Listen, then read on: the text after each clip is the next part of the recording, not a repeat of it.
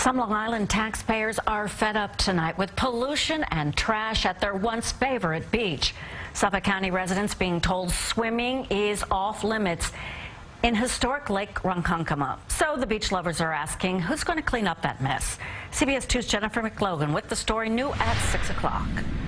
It's hard to believe this was a resort area at one time. Quinn Volgraff walked the shoreline of Lake Ronkonkoma, Long Island's largest freshwater lake, dodging glass and trash, beer bottles, needles, nails, even old railroad ties, emotional with memories. Smelling the hot dogs cooking at the little concessions and whatnot, and people coming in the evening. They came by horse and buggy, then trains and Model Ts, a playground of the wealthy during the roaring 20s and beyond. 34 pavilions, gracious hotels. Instead of all these geese and other birds, there were people.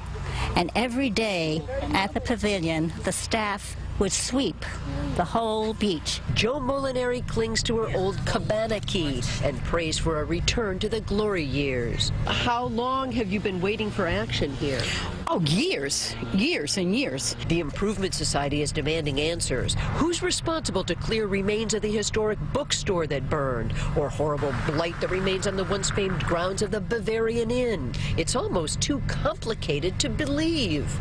The bottom of the lake is owned by the town of Islip. The town of Smithtown has a small portion, the town of Brookhaven has a portion, and the county of Suffolk has a portion. Legislator Leslie Kennedy explains, with three towns and one county all owning a share, it's been decades of passing the buck. Finally, they are working to apply for a joint grant.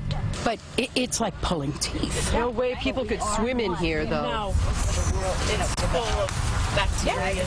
Oil, too, and blue-green algae. The first of several community meetings to put pressure on local governments to take action will be held here tonight. From Lake Ronkonkoma, Jennifer McLogan, CBS 2 News. That lake has a circumference of two miles, and experts say it'll take decades for the lake to become pollution-free.